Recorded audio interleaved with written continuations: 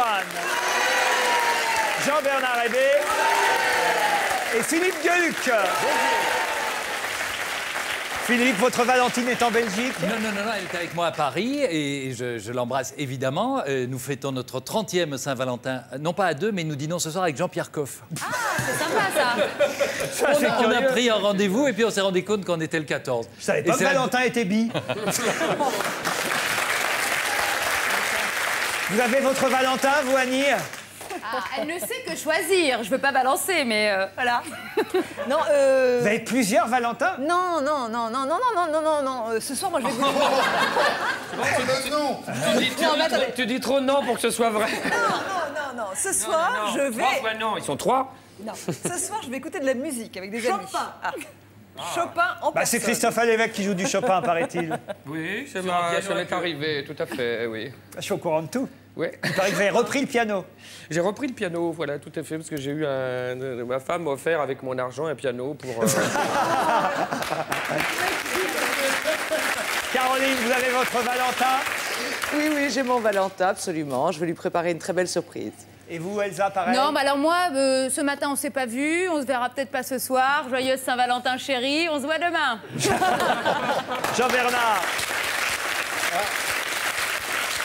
Alors, comme mes filles sont maintenant en âge de comprendre ce qu'est la Saint-Valentin, ce soir, je dîne en tête à tête avec mes filles. Ah oui, bah bientôt, ça sera fini C'est le ça. moment. Pourquoi? Oui, Parce enfin, il faut en moment. profiter maintenant, oui. Donc Oui, là, pendant qu'elles n'ont pas honte, c'est vrai. voilà, 8-9 ans.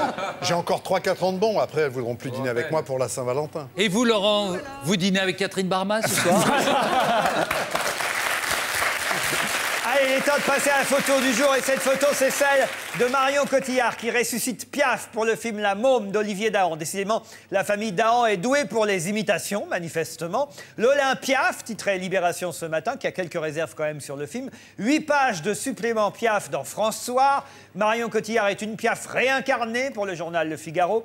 Télérama, qui souvent n'aime pas les jeux de mots, a pourtant choisi comme titre La Messe Édite.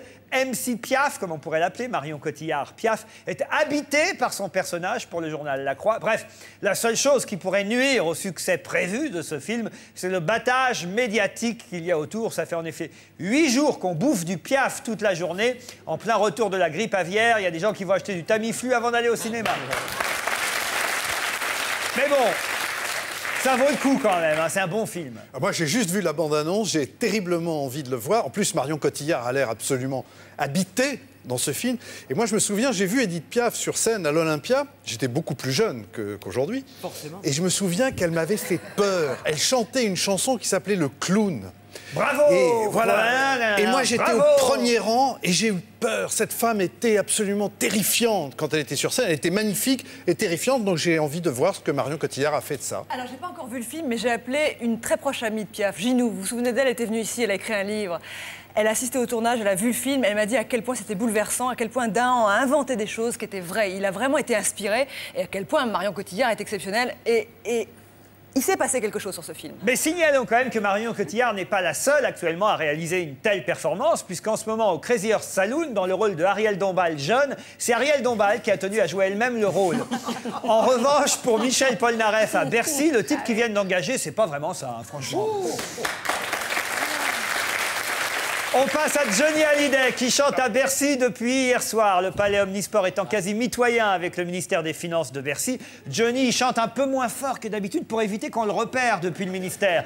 Et Johnny a aussi demandé à ses fans de ne pas tous applaudir pour pas qu'on puisse compter le nombre de payants dans la salle.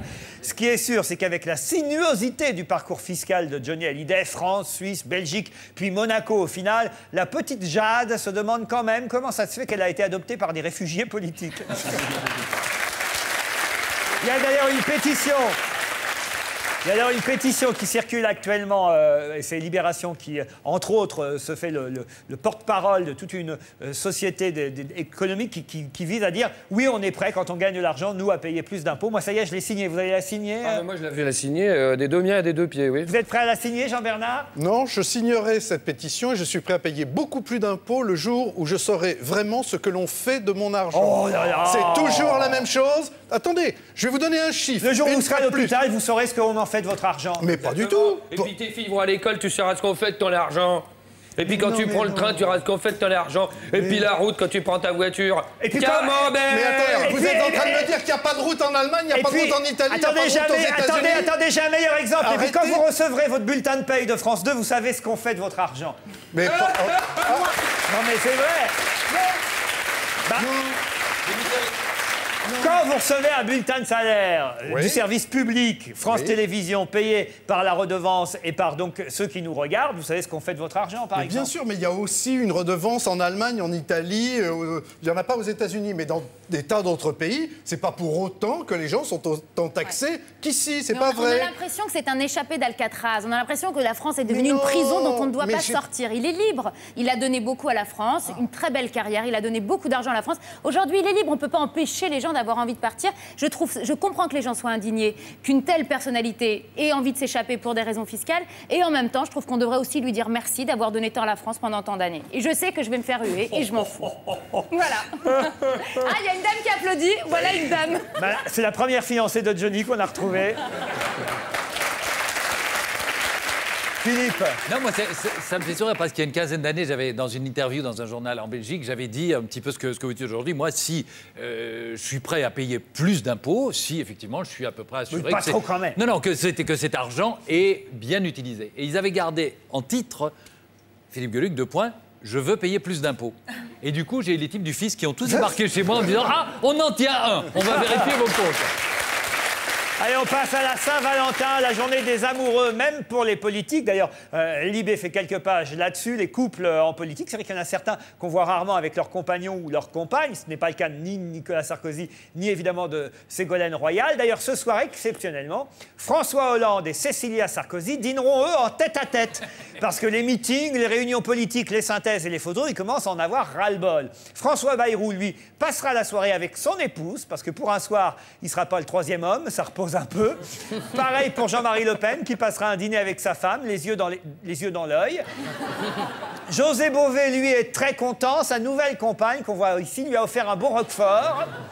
Et moi, Elsa, j'ai attendu aujourd'hui pour vous déclarer ma flamme. C'est pas vrai. Mais Laurent, qu'est-ce qui se Pour la passe, Saint-Valentin, Oh là, ça va être une dinde, un truc pourri. je vous offre Allez. un cœur, mais bon, le fromager n'était pas ouvert, alors voilà, je n'ai pu trouver que ça. Je vous remercie, Laurent. L'élégance. Vous plus, auriez mieux fait de lui offrir de la cervelle, non on y est. Allez, une autre photo, celle du Paris Saint-Germain qui joue ce soir à Athènes, un match aller pour la Coupe d'Europe. Les Grecs ne seront pas très nombreux dans les gradins pour voir le Paris Saint-Germain à Athènes parce que des ruines, ils en voient tous les jours. Le match sera retransmis sur Arte, filmé par Vikash Dorasso. Et oui, en effet, Dorasso a décidé de filmer toutes les équipes avec lesquelles il s'est retrouvé sur le banc de touche. Vu le nombre, Substitute 6 sortira sûrement avant Taxi 5. Et oui, parce que c'est aussi aujourd'hui la sortie de Taxi 4. Évidemment, tout le monde pense à Sami Nasseri, dont la sortie n'est pas encore annoncée. Là, en revanche, il n'a pas pu assurer, vous savez, la promo du film, le pauvre Nasseri, enfin le pauvre Nasseri, on va dire, qui est en, prison. Ça fait en tout cas une voix de plus pour José Bové, à qui il risque d'arriver euh, la même chose pour la promo de sa campagne présidentielle. Mais pour Taxi 5, c'est sûr, c'est UGC, l'Union des geôliers cinéphiles, qui produira le film. Ce qui est rigolo, c'est que Marion Cotillard faisait partie des Eh premiers taxis et qu'évidemment, elle sort aujourd'hui dans le rôle de Piaf. Elle peut pas être partout. Elle n'est pas dans Taxi 4, en revanche, Marion Cotillard. Bah non, fallait faire la queue, hein, Oh, fallait faire la queue. au taxi.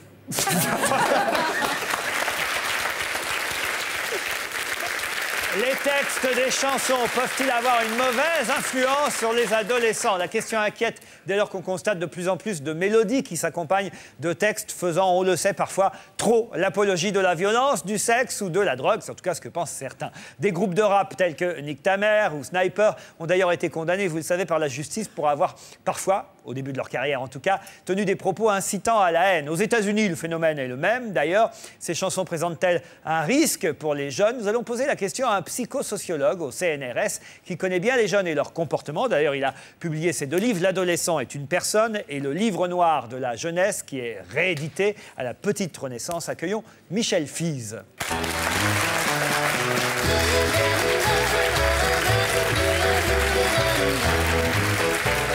Bonjour, bienvenue. C'est dans France Soir qu'on vous a interrogé tout récemment, Oui. puisque vous êtes un spécialiste euh, de la jeunesse, en quelque sorte. Ça- ce livre avait été publié il y a quelques années déjà. C'était une sorte de cri d'alarme en disant euh, on s'occupe pas assez des jeunes, on prend pas les jeunes assez en considération, il faut vraiment s'occuper d'eux, euh, éviter euh, ce qu'on appelle et qu'on entend régulièrement la précarité des, Mmh. des jeunes. Alors, on n'écoute peut-être pas assez les jeunes, mais eux, les jeunes, en revanche, écoutent beaucoup de musique. Et est-ce que cette musique a énormément d'influence sur eux? C'est la question que François vous avez posée et que nous, on, on vous pose aussi ici ce soir. On écoutera les avis des uns et, et des autres. Mais c'est vrai que les textes, alors particulièrement, pas seulement euh, la, la chanson française, parce que finalement, on s'aperçoit que les jeunes écoutent certes du rap français, mais beaucoup, beaucoup aussi euh, de musique et de chansons anglo-saxonnes. Or, euh, parfois, on ne comprend pas toujours les paroles et elles sont pas piquées des hannetons, les paroles. Oui, alors, euh, fort heureusement, il n'y a, pas- de lien direct entre le fait euh, de lire ou d'écouter ces paroles et, de regarder des images violentes à la télévision, car sinon, évidemment, ce serait très, inquiétant. Mais tout dépend des conditions dans lesquelles euh, on, écoute ces paroles. Et surtout dans la répétition. hein. Je connais autour de moi des jeunes qui écoutent des, morceaux de rap à longueur de temps. Et ce que j'ai dit dans l'article, effectivement, c'est que on, finit par avoir une sorte euh, d'imprégnation. Donc le cerveau, effectivement, euh, emmagasine quand même euh, bon, ces, ces paroles noires. Alors là, il peut y avoir euh, un risque de dérive. Mais encore une fois, il n'y a rien de- Mais- il y a rien de- d'absolument certain. Et soyons clairs, vous êtes contre la censure, évidemment, de ce genre de Ah, chansons. écoutez, ça, ça fait des siècles que, euh, pendant des siècles, nous avons connu la censure. Je pense qu'il n'est pas question de la rétablir. hein. Par contre, je, je serais assez d'avis euh, euh, qu'on mette en avant l'autocensure. Voilà la photo de Diams, par exemple. C'est l'artiste française qui a vendu le plus d'albums l'année dernière, en, en 2006. hein. c'est vraiment euh, l'artiste numéro pour l'année passée. Et, et, par exemple, j'ignorais que dans certaines chansons, par- celle-ci là que je vois, Confession euh, nocturne, elle dit Ok, reste discrète, donne-moi le cric, la bombe lacrymogène, vite, donne-moi une clé, donne-moi sa plaque, que je la règle, sa BM, que je la crève, sa BM, que je la saigne comme il te blesse, sa BM, si tu savais comme j'ai la haine. Alors c'est vrai que c'est pas parce qu'on entend cette chanson, toutes les filles euh, qui sont trompées Ça, ou qui sont larguées par leur mec vont aller rayer euh, la voiture et crever les pneus. Non, mais il y y, a- il y a un paradoxe. Elle dans- n'aime pas les BM, et Ouais. puis voilà. Non, mais je crois qu'il y a- il y, a un paradoxe dans cette histoire. Je crois que si on considère simplement le rap, je crois que le rap est utile. Et je pense que les rappeurs, je le dis très, très sincèrement, sont parmi les meilleurs sociologues des banlieues aujourd'hui. hein. je pense qu'ils énoncent bien les difficultés. Je crois qu'on n'a pas conscience des souffrances qu'endurent ces gamins gamins qui sont parfois un petit peu plus grands, qui sont quelque part enfermés, c'est-à-dire ils sont dans notre société, mais ils sont, ils sont à la marge. Donc je pense que sur le fond, on a raison effectivement euh, de- En d'écouter fait, ce que d'écouter vous dites, c'est que plutôt que d'interdire aux jeunes d'écouter ces chansons, on ferait mieux euh, de faire écouter ces chansons à ceux euh, qui euh, nous gouvernent et qui ont en responsabilité. C'est ça. Par exemple. Parce qu'ils Ouais. auraient un aperçu un peu Oui, de ce qui se passe. bien sûr. Jean-Bernard n'a Ouais. pas l'air Non, d'accord. non, non, Non. mais je suis absolument pas d'accord. Mais absolument pas Ouais. d'accord. Là où je suis d'accord avec vous, c'est qu'il n'est pas du tout question de censure. Parce que la censure est la pire des imbécilités. Je ne veux pas qu'il y ait quiconque qui me dise ce que je dois lire, ce que je dois écouter, ce que je dois voir. Je suis assez grand pour le faire. Mais le grand problème là-dedans, c'est la banalisation. Quand on réécoute en permanence que c'est normal de violer euh, sa voisine, quand on voit euh, sur les chaînes euh, grand public des films pseudo-porno à 20h, comme c'est le cas sur certaines chaînes, c'est une banalisation des choses. Et pourtant, je sais si je suis pas prude. Faites ce que vous voulez avec vos fesses, mais pas à la télé. Mais faites-le chez vous, pas devant les enfants. Donc je suis contre la banalisation. Deuxièmement, là où il y a un truc qui est absolument terrible dans ce que vous dites, vous dites oui, il n'y a personne qui connaît mieux le problème des banlieues que les jeunes qui sont dans les banlieues. Ça, c'est tout à fait vrai. Mais ces grandes chochottes qui disent baise la République et toi je te viole et va te faire en que des machins, qui se conduisent comme les pires des voyous, le jour où le ministre le- leur, leur dit racaille, oh on m'a traité de racaille, oh c'est horrible, je suis une racaille, et toute la presse vient derrière. Eh ben non, entre eux ils s'appellent Kaira, c'est pas Ouais. pour rien. Alors j'avais prévu votre réaction. La caïra du PAF, Jean-Bernard non, mais Hébé. c'est, non, mais c'est scandaleux de dire ça. C'était pas très grave ce qu'il a dit Sarkozy et tout le monde a monté ça en épingle et ça continue aujourd'hui. Faut arrêter. J'a- J'avais prévu que, que vous répondriez ce que vous venez de, de- de faire. Euh, donc je crois qu'effectivement, il faut redonner quand même un sens aux mots. hein. Et par exemple, euh, niquer sa mère, c'est commettre un inceste. Un bâtard, des millions d'enfants ont souffert quand ils étaient effectivement les enfants de filles-mères, comme on disait à l'époque. Et je pense que quand on dit sale bâtard, on doit avoir en mémoire effectivement ces enfants naturels, comme on les appelait euh, tragiquement, pour les opposer aux enfants, aux enfants légitimes. Donc moi, je suis de ceux qui considèrent qu'effectivement, on ne peut pas avoir une convivialité euh, en société si on n'a pas les beaux mots, hein, des mots, Mais des je mots nous imagine en train de traduire à nos enfants. Comment Alors là, il a voulu dire. Annie Lemoine. Bah, euh, je- il faut se souvenir, par exemple, le famille, famille Je vous hais, qui était Oui. lancé par André Gide, a conditionné toute une euh, génération d'adolescents, même plusieurs générations. C'était très violent, Famille Je vous hais. Quand on a 15 ans, on lit ça dans un livre. Et, et, euh, et voilà, bon, aujourd'hui, est-ce que c'est plus violent?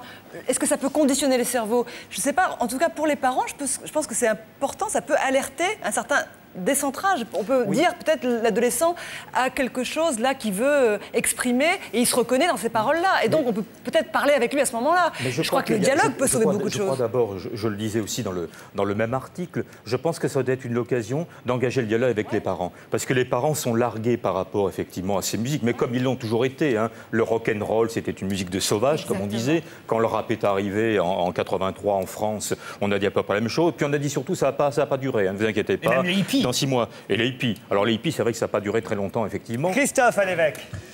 Euh, moi, je pense que ce, ce- le- le- ce combat est vain, inutile et perdu d'avance. Donc, euh, le- le- on est en train, on perd notre temps complètement.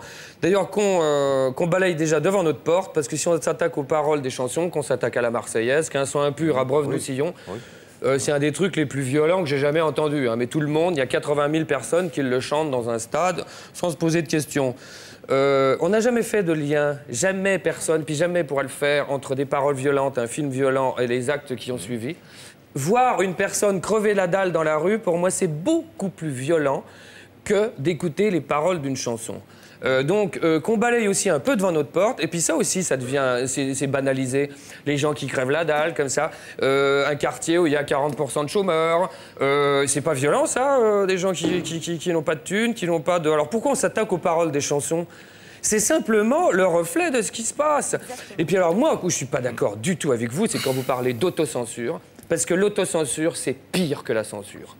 Croyez-moi, moi qui suis un auteur et qui écrit, qui va quelquefois un petit peu, euh, un petit peu loin, qui joue avec la, la- la ligne rouge, si on se met à s'autocensurer, c'est la fin, c'est terminé, parce qu'il n'y a plus de début et il n'y a plus de fin dans l'autocensure, on ne sait plus. Elsa Fayer. Oui, moi j'ai chanté pendant 15 jours une chanson de Haïkon qui s'appelle Et je me suis aperçue de ce que je chantais depuis 15 jours. En fait, c'est une histoire qui parle de fellation. Et moi, à tue-tête, et j'entends tout le monde chanter Smack that, get on the floor. Et on est tous en train de dire, grosso merdo, fais-moi une fellation, euh, Vous les êtes genoux. la les du genoux 21e sur le- siècle. ouais. Ça, je trouve ça pire. Avec les sucettes à la nuit, c'est pareil. Bah écoutez, vous allez pouvoir continuer à analyser les textes des chansons parce qu'on va vous offrir un de ces trois CD, non sans avoir écouté d'abord l'avis de Jean-Bernard Hébé. Jean-Bernard, on commence tout de suite par Carla Bruni, le nouvel album de Carla Bruni. Euh, L'album s'appelle No Promises et la chanson Those Dancing Days Are Gone. Exactement. Vous l'avez presque bien dit. Non, on va le garder. C'est anthologique, ça. Elle chante en anglais donc. Voilà, alors toutes les musiques sont d'elle. Euh, Par contre, tous les textes sont de vieux poètes euh, anglais. Et je ne sais pas si vous le savez, mais Carla Bruni a un, un très très beau nombril. Elle a un très très gros nombril aussi. Et à force de se regarder le nombril, elle est tombée dans son nombril. Parce qu'après avoir sorti un premier album que tout le monde a encensé, sauf moi, je trouvais que c'était un petit peu léger, un petit peu. C'était sympathique. Enfin bon, elle en a sorti un deuxième. Et oui, un malheur n'arrive jamais seul. Donc on a un deuxième album qui est. euh, qui est d'un ennui incommensurable, n'est-ce pas? Parce que elle a, d'abord, elle chante en anglais parce qu'elle a décidé de faire chier internationalement. Maintenant, c'est pas seulement les Français. Bon. Donc, elle a sorti. Alors, derrière elle, parce qu'elle a fait des musiques qui sont d'une platitude totale, elle connaît trois accords, mais elle a Bertignac, ancien téléphone, qui lui tricote des tas de trucs qui font que Plutôt le tout mal, est à peu près comestible, mais dans l'ensemble, il reste le physique, c'est tout. Un extrait de Those Dancing Days Are Gone. As you may, I sing it true. Well, not to name that the most good pleasure you. The children that he gave, some were sleeping like a top. And the mom the flying gay carry the sun. Annie Lemoine, défendez Carla Bruni, je suis sûr que vous aimez. Ouais, le premier album, j'avais trouvé ça vraiment bien. Et il y a de toute façon une couleur avec cette voix si particulière. Christophe Moi, je trouve que sexuellement, c'est un peu violent. Vous savez, Laurent, qu'on a décidé un petit changement maintenant dans l'émission parce qu'il fallait quand même qu'on ait eu une gradation. Ouais. Parce que c'est bien beau de dire oui, c'est bien, c'est pas bien, c'est pas. Alors, on- il faut qu'on soit scientifique. Donc, à la fin, moi, je vais. Non, moi, tout seul, je, je suis terriblement démocrate, je vais décider tout seul. D'une note. La Donc, note Jean-Bernard Hébé. Voilà, alors- La note JBH, on pourrait Il y l'appeler. aura 5 plus, hein, on peut être dans les plus de 1 à 5, ou on peut être dans les moins de 1 à 5. Il n'y a pas de raison, de 0 n'existe pas. Donc pour ce deuxième album de Carla Bruni, je propose un moins, un seul petit moins. Voilà. Et vous vous en souviendrez pour les années qui viennent. Deuxième album. Mais non, mais parce que moi, je... moi, je travaille. Attendez, ça, ça me fait trop rire ce petit signe. C'est- Ça s'interdit. Très bien, ok, d'accord. Deuxième album, Jean-Bernard, Mika.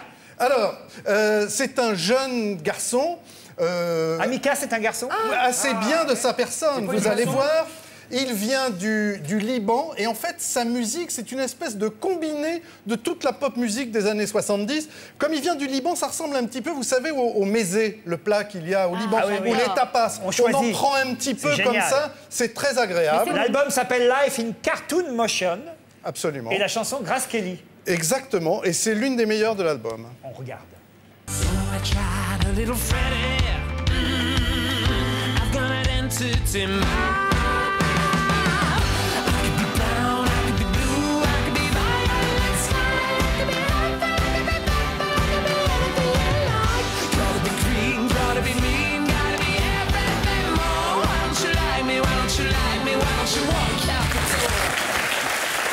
Alors, votre note, Alors l'album Jean-Bernard s'appelle Life in Cartoon Motion et moi je donne 2 plus. Ah ouais Ah ouais Quand même, Ah deux oui, je plus. prends des risques. On termine par Johan. C'est une perle. Ah oui. C'est mieux qu'une perle. C'est un collier de perles. Il y a 10 morceaux. Tout est formidable. plus, tout ça. Le clip est formidable. C'est aussi beau qu'un coléoptère mordoré et c'est aussi bon qu'une mousse au chocolat avec des morceaux d'orange. Elle sera en concert le 17 avril à Paris au Divan du Monde. Elle s'appelle donc Joanne. Euh, L'album Joanna's Policewoman, Real Life et l'extrait Eternal Fame.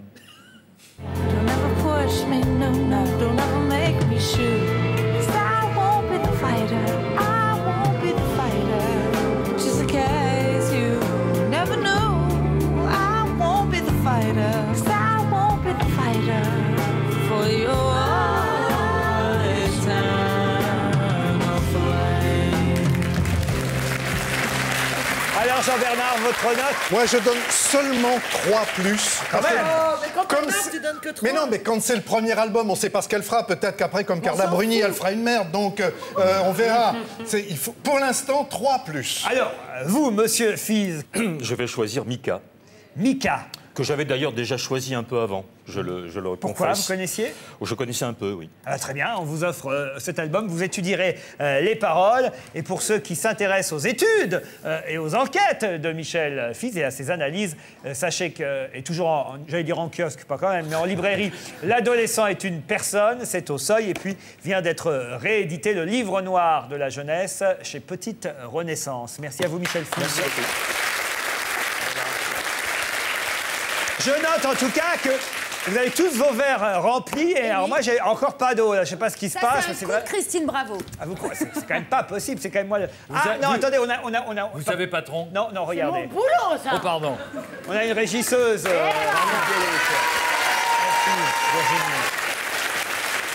Vous allez bien? Alors, excusez-moi, mais je me dis que si les Belges commencent à prendre La le pain de la bouche des Belges, rien ne va plus dans ce pays. Non, mais Virginie, c'est elle qui Mais doit j'ai me des attributs, moi.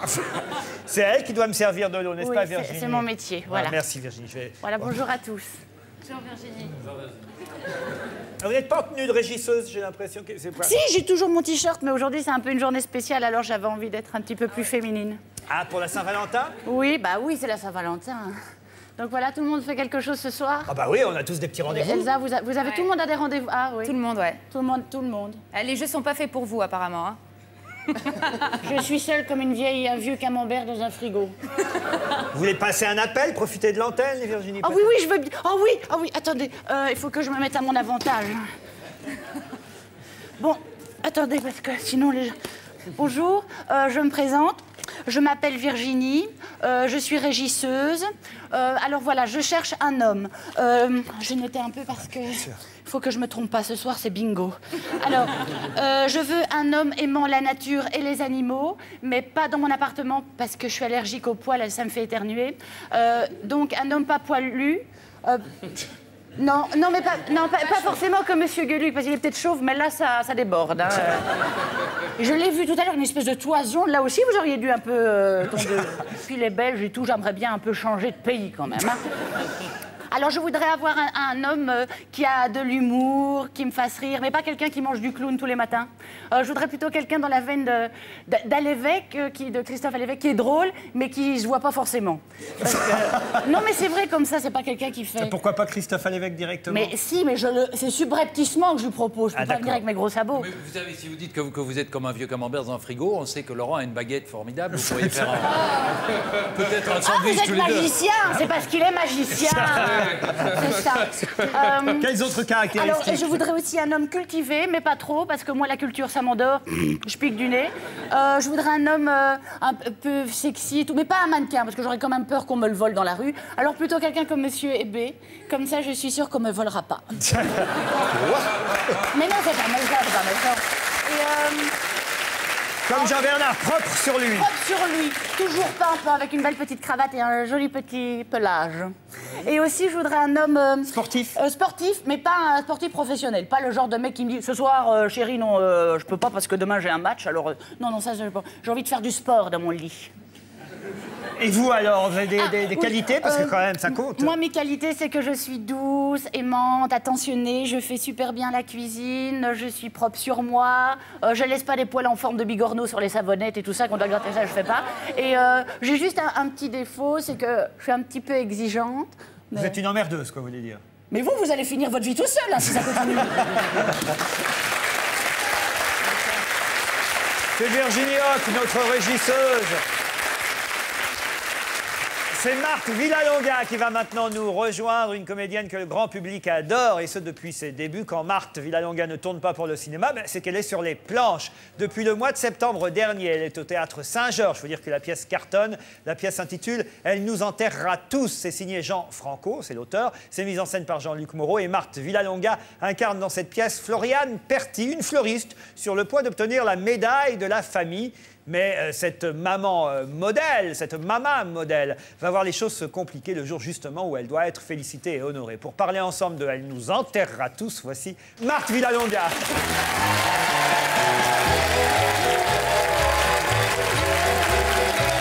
Bonsoir. Bien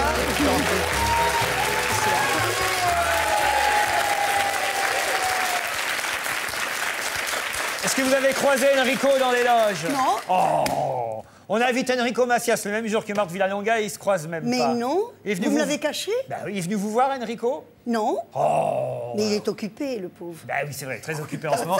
Vous aussi, il faut dire, vous êtes très occupé. plutôt. Ah, Moi, je reçois les chiffres hein, des, des théâtres et je sais que ça marche très très bien pour vous. Avec Elle nous enterrera tous. D'ailleurs, la meilleure preuve, c'est quand une pièce démarre en septembre et qu'au mois de février, elle est encore à l'affiche. Ça, c'est très Voilà. très bon signe. Alors, est-ce qu'on rit? Évidemment qu'on rit, c'est une comédie avant tout. Surtout une Il comédie. faut pas se fier au titre. Ah non, pas du tout, justement. tout ce qui se passe autour, c'est pour rigoler. C'est beaucoup d'humour noir Ah oui. Oui, pas mal. Vous savez, quand on voit l'affiche, on ne pense pas une seconde que ce soit un drame non plus. C'est vrai, mais avec le titre, sait-on jamais. Et puis Marthe, ces dernières années, a aussi joué des rôles au cinéma particulièrement un peu plus dramatiques. C'est vrai. Alors voilà, là c'est la Marthe Villalonga qui fait rire qu'on va voir au Théâtre Saint-Georges. Voilà. Extrait de la pièce. La vraie. Abel, mon chéri, désolé. J'ai fait le plus vite que j'ai pu, mais vraiment, j'ai. Ah, ah Jésus, Marie, Joseph T'as tout ça comme prénom Maman Antoine, mon tout petit Oh, que je suis heureuse Antoine, fais voir Oh, que tu es beau, Antoine, que tu es beau Ne refais plus jamais ça Promis.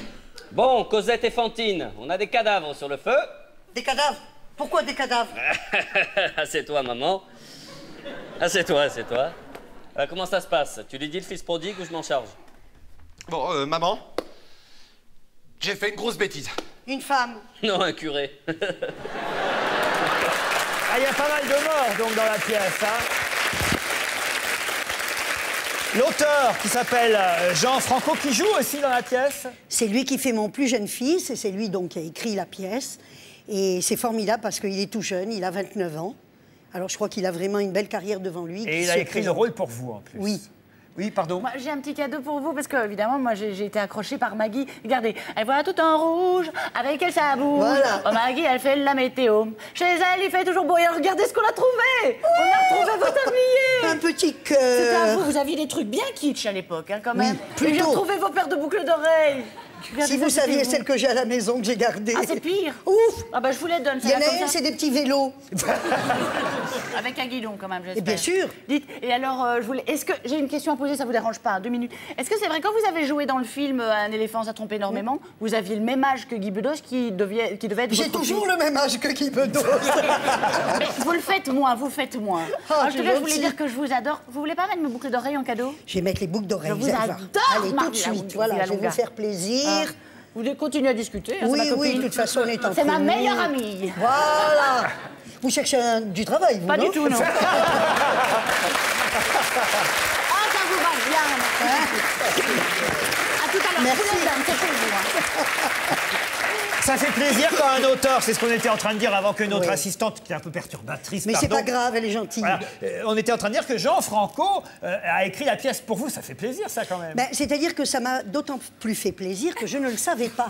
ne tournez pas la tête. Ne, tour- ne tournez pas la Ah, c'est tête. Attendez, c'est gênant, c'est gênant. Est-ce qu'on s'amuse vraiment, Elsa Fayer Quel bon moment on passe en votre compagnie. La pièce est extrêmement bien écrite. Moi, j'ai adoré les dialogues. Je trouve ça extrêmement moderne pour un boulevard. Il y a plein d'humour noir, il y a plein de jokes, de jeux de mots. Vous vous amusez énormément et il y a une ambiance sur la scène absolument extraordinaire. Vous avez eu, j'y suis allée samedi en fin d'après-midi, vous avez dû avoir au moins quatre fous rires entre vous, à en pleurer, parce qu'il y a une vraie bonne ambiance. Et moi, ça me fait plaisir, même si la pièce de temps en temps s'est ralentie parce qu'ils n'arrivaient même plus à continuer tellement ils riaient. Et ben, on, on passe un bon moment. C'est des vrais fous rires, parce qu'on sait qu'au théâtre, parfois, il y a des faux fous rires. Alors, il y a, il y a un faux fou rire, c'est le mien.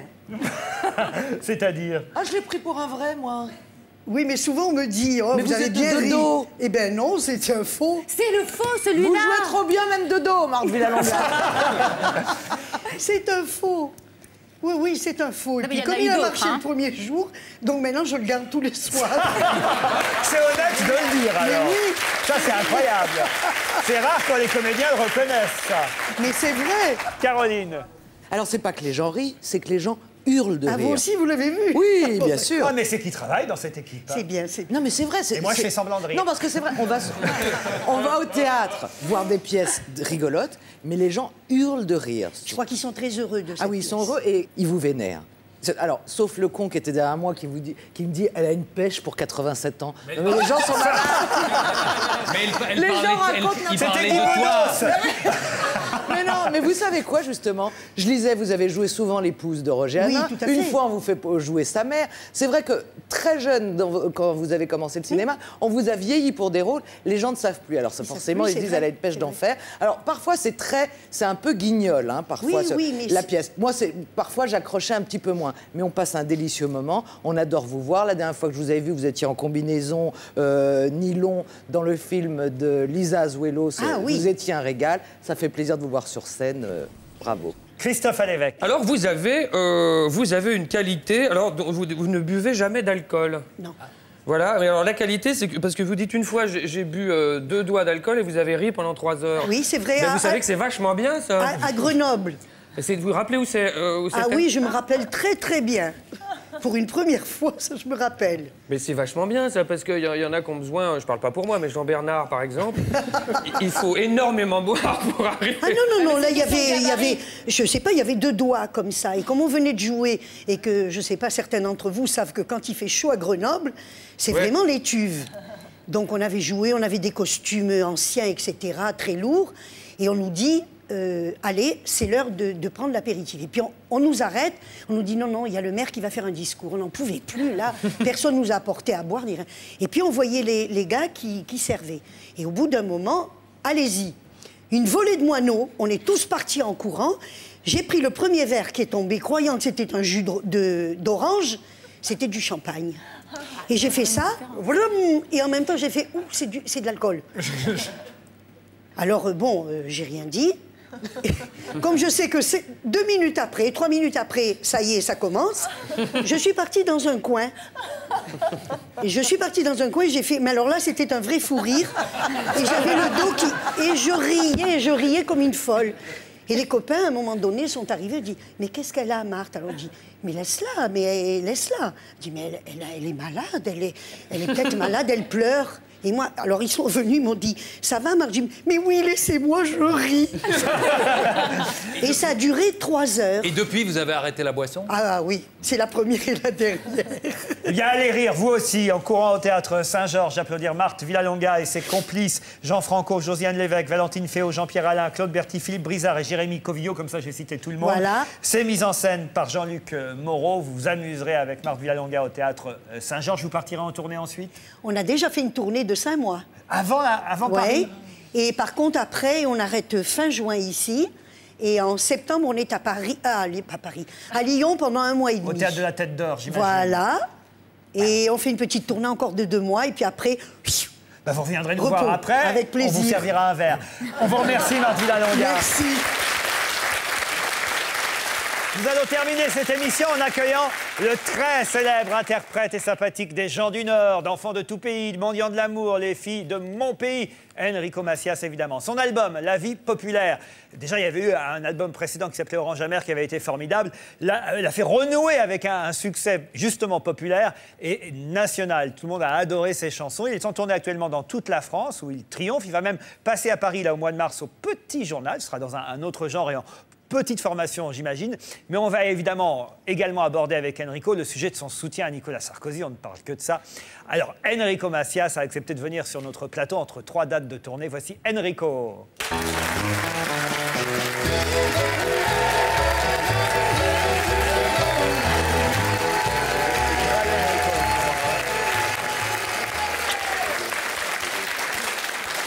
Le petit journal à Paris, ce sera le 20, le 21 et le 22 mars. Et vous êtes en tournée actuellement à travers la France, toujours avec euh, ces chansons de la vie euh, populaire. Et c'est vrai que depuis deux albums, vous avez, on peut dire, euh, reconquis euh, le, le public. Alors, est-ce que en tournée, allez, on va tout de suite aborder le sujet, dans le 7-8 par exemple à Poissy où vous étiez euh, hier ou avant-hier, est-ce qu'il y a des gens qui viennent vous voir à la fin en disant Mais enfin, Enrico, on t'a toujours connu de gauche D'un seul coup, pourquoi tu soutiens Nicolas Sarkozy Et qu'est-ce que vous leur répondez? Ben, D'abord, on ne me pose pas la question. C'est vrai, pas du tout, les gens s'en foutent en fait. Tous les engagements que j'ai pris, j'ai jamais eu de problème avec le public parce que je pense qu'il y a un profond respect pour pour tout ce que j'exprime, parce qu'il y a une certaine liberté de- d'expression. et puis moi, je crois que la tolérance, c'est aussi de respecter les gens qui s'engagent. Et on, on ne combat pas l'intolérance par euh, par l'intolérance. Non, mais sans parler d'intolérance, euh, nous-mêmes ici, euh, aucune raison de l'être. Et, Non, non, non, et Nicolas. Sarkozy est un démocrate et et il y a des gens aussi autour de cette table qui votent Nicolas Sarkozy, je vous rassure. Non, c'est pas ça la question. La question, c'est pourquoi on passe de Laurent Fabius à Nicolas Sarkozy? Ça, on est en droit de se poser la question. C'est normal. Euh, D'abord, je vous rassure tout de suite, je suis toujours de gauche. Je ne suis pas quelqu'un qui tourne ma veste facilement.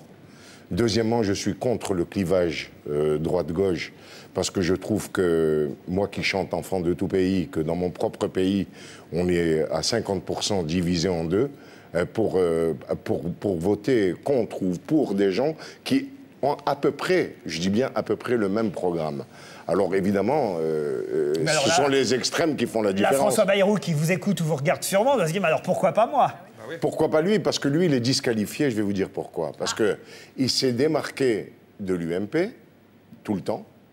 Donc il a été contre l'UMP et il a tout le temps été contre la gauche. Il Euh, n'est pas aussi rassembleur que, vous, que ça. en non, que vous non, je pense, moi, je vais vous dire, en deux mots, euh, je me suis engagé vis-à-vis de Nicolas Sarkozy parce que c'est le seul qui, à, mon, à, mon, à mes yeux, va rassembler tous les Français. Parce que quand Chirac a été élu au deuxième tour contre Le Pen, il n'a pas eu le geste de faire un gouvernement de collaboration, en fait. qu'il aurait dû faire. Hein, qu'il aurait dû faire. Et, et- et- et ça, Nicolas Sarkozy, quel que soit, évidemment, suivant les résultats de la prochaine élection, euh, je suis sûr qu'il le fera. Ce qu'on entend aussi, c'est, ah bah, évidemment, c'est un proche, un ami de Laurent Fabius. C'est Fabius qui est en train de glisser une savonnette dans les jambes de Ségolène Royal. Pas du tout. Pas du tout. D'abord, même Laurent Fabius, je ne l'ai même pas appelé pour lui dire que j'allais euh, du côté de Sarkozy, parce que j'ai le culte de l'amitié. Mais moi, je n'ai pas aimé du tout la façon dont il a été traité, ni lui, ni Strauss-Kahn, ni Lionel Jospin, dans cette famille de, la gauche, dans laquelle je croyais appartenir. Je, je continue d'appartenir d'ailleurs. Et, et je trouve que euh, ce n'est pas le meilleur représentant de la gauche qui va, se- qui va se présenter contre Nicolas Sarkozy. Elle ne vous séduit pas? Non, elle ne me séduit pas pour plusieurs raisons. D'abord parce que, euh, pour moi, le seul qui avait la stature d'un chef d'État, même Lionel Jospin, Strauss-Kahn et surtout Laurent Fabius. Enrico, je, je m'excuse. Il y a une chose, j'ai lu attentivement tout ce que vous avez dit. Moi, je pense, vous allez me dire si, si je vise juste. Je me demande si vous n'êtes pas senti insulté par Ségolène Royal. Et on sait votre sensibilité sur le sujet lors de son voyage en Israël et Bien à sûr. Gaza. Est-ce que ce n'est pas là parler. le moment où vous avez où, où ça- où vous êtes dit non, c'est pas possible? Comment peut-on euh, cautionner des paroles aussi dures pour Israël, aussi horribles, en, en ne se souvenant pas de la Shoah? Parce que je vais donner un argument rapide. Israël, s'il avait voulu régler le problème des Palestiniens, il y a longtemps qu'il aurait été réglé, vous connaissez la puissance militaire d'Israël. Comment on peut accepter que le Hezbollah, qui est une organisation terroriste, Comment peut-on parler avec des gens comme des chefs d'État? Comment on peut accepter des paroles comme ça aussi dures pour Israël et avoir le culot d'après d'aller en Israël et, et puis de- de- de- de- de- de- Donc, d'essayer j'ai- de... J'ai raison de, vous dire ça. Est-ce que c'est ça qui a été pour vous la fracture Bien sûr, ça a contribué. Et pourquoi j'ai été derrière Nicolas Sarkozy Parce que j'étais tout à fait par hasard. Je suis intervenu auprès de Nicolas Sarkozy pour les sans-papiers. Et les sans-papiers, lui, il m'a répondu, il m'a convoqué pour me donner une assurance qu'il allait régulariser les sans-papiers progressivement, qu'il ne pouvait pas le, le faire massivement, mais que tous les dossiers qui passaient entre mes mains seraient étudiés attentivement. Je lui dis, tu me fais ça? Je dis, moi je te soutiens. Moi, c'est moi qui ai pris la décision. Personne ne m'a influencé. Annie Lemoine. Est-ce que vous n'êtes pas davantage anti-Ségo que pro-Sarko? Si ça avait été Fabius, vous auriez voté pour Fabius, oui? Oui, Oui. absolument. Donc- donc c'est ce que j'ai dit à Nicolas. Royal dont vous ne Je lui voulez dis- pas. C'est ce que j'ai dit à Nicolas Mais elle, Sarkozy. elle va mener une politique de gauche Mais avec laissez-moi des gens de répondre. gauche. Laissez-moi répondre. Laissez-moi répondre. J'ai dit à Nicolas Sarkozy, vous avez la chance, ou j'ai dit je le tutoie, hein, j'ai dit tu as la chance de, que Laurent Fabius ou Strauss-Kahn ne soient pas contre toi. Sinon je ne serais pas à tes côtés aujourd'hui. Je l'ai dit. Et il a apprécié parce que moi j'ai le culte de séduit, un l'amitié. artiste a besoin d'amour, vous avez été courtisé, vous avez craqué. C'est un choix, euh, votre choix, il est, il est incohérent là. Il Mais moi, je, je- on en Si reparlera. vous êtes un homme de gauche, On- vous ne votez pas Sarkozy. Parce que Sarkozy mène une, mène une politique de Pourquoi droite. donc Non, je suis Il me désolé. semble, hein, euh, Attendez, euh, je vais encore vous répondre. l'encadrement militaire des jeunes. Vous croyez que c'est une politique de gauche? Les sans-papiers, qu'est-ce qu'ils ont fait la gauche pour les sans-papiers? Qu'est-ce qu'a fait la gauche pour les pieds noirs quand, on est arrivé en France, on n'a pas eu, jusqu'à présent, on n'a pas été indemnisé? Qu'est-ce qu'ils ont fait pour les harkis qui avaient le cul entre deux chaises, entre l'Algérie qui les traitait de traîtres et les Français qui- alors qu'ils ont payé de leur sang leur appartenance à la France, ils n'ont jamais rien fait. On les a parqués dans des camps. Non, je ne suis pas d'accord avec euh, le- la politique de gauche. Moi, m'a profondément déçu. J'adore Léon Blum, j'adore Jaurès, j'adore Mendes France. j'a- J'ai adoré le président Mitterrand, sauf la parenthèse avec Bousquet. Et, et puis voilà, c'est tout. Euh, c'est pas parce qu'on a une certaine idéologie qu'on doit appliquer comme des fanatiques et comme des robots cette idéologie. Si moi je suis pas d'accord avec Ça, ma religion, avec eh ben voilà, c'est tout. Alors, tout. Elsa Fayer. Oui, euh, moi, vous êtes un, un grand humaniste, vous êtes un homme de paix. Qu'est-ce que vous trouvez d'humaniste chez Nicolas Sarkozy? En quoi c'est un grand humaniste selon vous? Je vous ai écouté sur une radio et vous disiez, vous disiez, je vais vous faire parce que j'ai adoré quand vous avez dit. Vous avez dit c'est un grand humaniste. Oui, c'est un grand Et j'aimerais savoir en quoi c'est un grand humaniste. C'est un grand humaniste parce que c'est un homme qui respecte son peuple, qui respecte la, la diversité française, qui respecte tout le monde, malgré le- la parenthèse de racaille et tout ça, c'était dû à une réaction euh, sur, le, au- euh, sur le vif. Mais c'est c'est quelqu'un qui n'est pas raciste.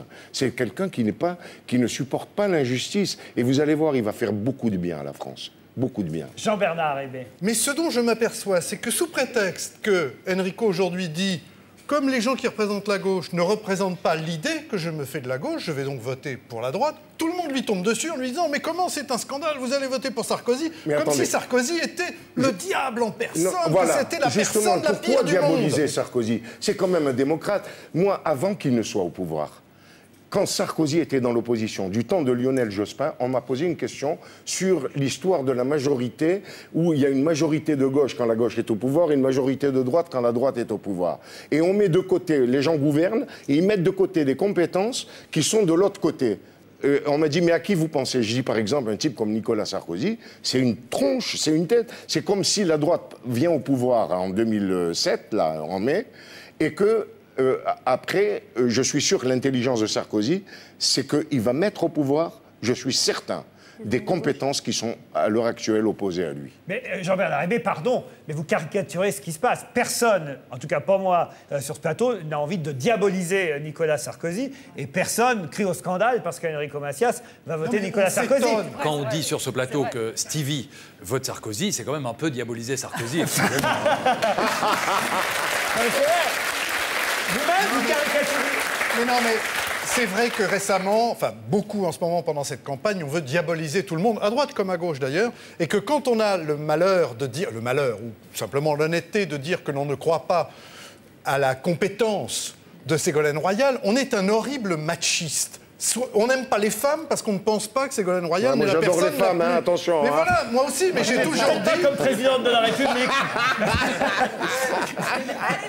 Pas à mais l'Élysée. pourquoi Mais pourquoi Je n'ai rien contre une femme à l'Élysée? Je suppose qu'il a rien contre une femme à l'Élysée. Simplement, peut-être pas celle-là. Parce qu'à ce jour, elle n'a pas prouvé, elle ne nous a pas convaincus de ses capacités. Caroline.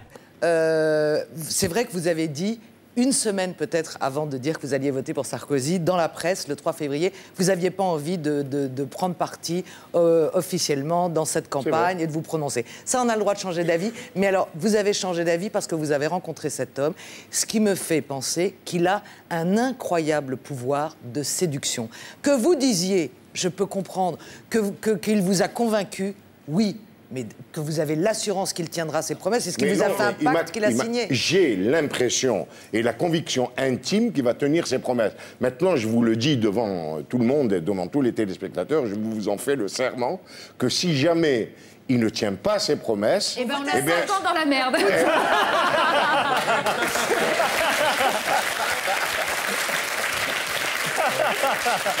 En fait, si je résume un peu le fond de votre pensée, Enrico, on va dire Nicolas Sarkozy, c'est le meilleur à droite actuellement, et vous n'êtes pas certain que Ségolène, ce soit la meilleure à gauche. Voilà, en deux mots, voilà. Christophe Alévèque. Euh, vous dites tout à l'heure, euh, Nicolas Sarkozy euh, a un, un programme pour les sans-papiers. Mais je vous signale que ça fait des années qu'il est au pouvoir.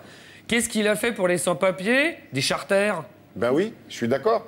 Attendez, mais Parce attendez, que là, on, on jusqu'au dit... jour où je suis Non, mais- intervenu. Non, mais jusqu'au jour où je suis suis intervenu, intervenu. pour l'instant, on n'a rien vu. Les sans-papiers, ils n'ont rien vu. Ah Personne n'a moi- rien vu moi- arriver. Moi, je sais, il m'a- il m'a régularisé 50 familles. Oui, mais enfin, ça, c'est. de- euh, oh, oui, alors là, vous ne devriez pas le dire, d'ailleurs, ça. Mais euh, c'est c'est quoi Pour c'est le du- moment, non, attendez, C'est du copinage. Alors, il faut Mais connaître Enrico Macias. Enfin, c'est quoi, ça? Et écoute, Bah, alors vous écoutez, êtes mieux amusant 50 que d'intervenir. rien. Et il a agi au moins pour 50 familles, c'est fascinant. c'est quand même gentil. C'est quoi parce Oui. que. Non, mais c'est gentil. Non, mais d'accord, c'est On gentil. par hasard acheté comme ça euh, une, une forme de propagande dans les médias? Absolument pas, je dis et je le répète. Il l'a fait sans me demander quoi que ce soit. C'est moi qui ai décidé. Oui, oui, mais enfin, bon. bon. C'est 50 familles qui s'en sont sorties, c'est très bien quand même, Oui, Christophe. d'accord, d'accord, mais enfin, ça fait des années qu'il est là, excusez-moi, pour l'instant. Ce que vous accusez, c'est du clientélisme. Son- son alors. bill- Et puis n'oublions pas quand même que Nicolas Sarkozy, Nicolas Sarkozy, c'est c'est quoi? Parce que vous dites, euh, moi je choisis Sarkozy, mais les gens font ce qu'ils veulent. Vous savez très bien, Enrico, que euh, vous allez influencer des gens, qu'il y a beaucoup, vous êtes populaire, il y a des gens qui vous Eh ben, aiment. avec plaisir, comme ça, moi, j'aurais réglé tous les problèmes qui me tiennent à cœur. Voilà. Ça, euh, Voilà. oui, personnellement. Moi, je vais vous dire, j'ai pas besoin de faire ça. Personnellement. Pour moi, parce que moi, Non, par attendez, intérêt, attendez, alors- je n'ai aucun intérêt personnel. Ça, Alors, c'est pas la d'accord, peine de, d'accord, d'accord, mais laissez-moi euh, juste finir. ça. Donc, Ouais. vous- vous- Nicolas Sarkozy est merveilleux. Bon, euh, Nicolas Sarkozy a dit j'ai changé. Voilà, j'ai changé, il a changé. Pour moi, il a changé de chemise, de chaussettes, de pantalon, Non. mais il n'a pas changé. Non, moi, je vais, vous, je vais vous ajouter quelque chose. Je ne vais pas vous casser. Moi, je dis qu'il n'y a que les cons qui ne changent pas d'avis. Et j'imagine que vous, vous n'allez pas changer d'avis. Ouais, génial. Ça, c'est alors là, c'est le, le, Bah oui, parce que le vous est en forme. Euh, Vraiment, c'est génial. Ouais, Oui, ouais, oui. parce que vous ne manquez pas une occasion de m'attaquer. Là, vous avez Mais quelle occasion de vous attaquer? Ouais, Quand je vous ai attaqué? Arrêtez, arrêtez. De moi, de toute façon, je ne vous écoute pas parce que votre parole, elle compte pas. Mais je ne vous connais même pas. Qu'est-ce que vous racontez? Hein? Ben oui, moi aussi, je vous connais pas. Je crois que Christophe est plutôt. Non, franchement, Christophe a toujours plutôt aimé vos chansons et vous a bien reçu dans cette n'importe émission. quoi. ça. Ça veut dire que j'ai pas de personnalité et que je suis une potiche? Je suis une potiche, Ça moi veut dire qu'il a réussi votre coup avec vous, c'est tout. Il a réussi mon coup. Alors Kofi Annan aussi a réussi son coup avec moi Mais lorsqu'il m'a nommé. un- mais non, mais- Non, non, mais- c'est pas ça qui veut dire que ce soit vous ou un autre, c'est pas, c'est pas Mais voilà, per- c'est tout, C'est pas, pas- problème. personnellement, Enrico. Bon, Le allez, ça va, c'est pas grave. Voilà, on est tous des frères. ah, il faudrait, parce que la campagne va être dure autrement. En tout cas, je me défends mieux en politique que pour défendre mes chansons. hein. Allez, un mot de conclusion. Non, j'ai conclusions. Moi, moi- moi, il y a une chose, je, je trouve euh, Sarkozy. D'abord, on n'est pas là, nous, représentants du service public, représentants de l'émission, pour donner nos opinions personnelles, ni pour dire pour qui on va voter. Nous sommes dans un droit de, de- coincés dans un droit de réserve. Mais moi, vous savez, euh, Sarkozy. Voilà, je- en plus moi je suis belge. belge. Mais non, mais Sarkozy, je, je trouve qu'il il a des qualités. Moi, c'est sa femme qui me fait peur. Ah oui, pourquoi Là, Vous avez déjà vu son regard Ouais. Et je pense que c'est elle qui va diriger la France d'une main de fer. Ça, vous dites ça pour faire peur à Enrico, c'est Ouais, ça regardez-la bien. Attendez, moi, je, je les ai vus chez Vous Drucker. savez, euh, dans Je une les ai vus- émission d'Europe, Vous n'êtes pas match, chanté- vous n'êtes pas j'ai- chanté la femme de mon ami. Voilà, Vous n'êtes pas, vous n'êtes pas, Tu es la femme de Sarkozy, tu te rappelles pas vous n'êtes pas macho, Enrico.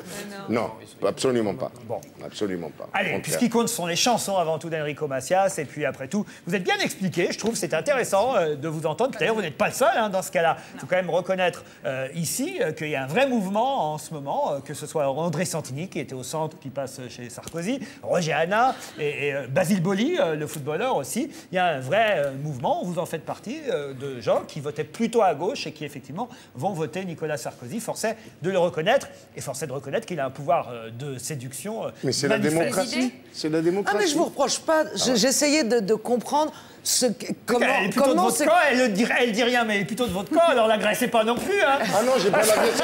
Je vais pas agresser. Non, non. Parce que t- tout le monde finit par croire que dans cette équipe, tout le monde est de gauche, mais c'est n'importe quoi. les gens de gauche sont beaucoup plus. euh, affirment beaucoup plus leurs opinions que les gens de droite. Voilà en fait peut-être ce qui surprend d'un seul coup quand vous affichez euh, vos, vos idées pour cette euh, élection. Mais dans cette équipe, il y a à peu près autant de gens qui votent à droite que de gens qui votent à gauche. C'est. Allez, on remercie Enrico. Retournez à travers la France avec ses chansons, c'est ça l'essentiel. Au Petit Journal à Paris, vous savez avant tout un artiste, euh, Enrico. Il y a déjà un autre album qui se prépare avec le succès des deux précédents. Ouais, et pas de campagne présidentielle. hein. Non. Ah, Est-ce que vous allez justement, tiens, ce sera la dernière question, être comme Doc Gineco, Orlando, Stevie, euh, Christian Clavier et les autres dans les meetings Est-ce que vous allez vous afficher ou pas? Non, mais franchement, est-ce que c'est pas mieux de parler à la télévision devant des millions de gens que de s'afficher pour prendre une photo comme petit ça? malin, en ah, tout cas. mais bien sûr. Ben oui, Enrico, vous avez raison. La vue populaire, c'est l'album. On passe au qui a vu qui, qui a vu quoi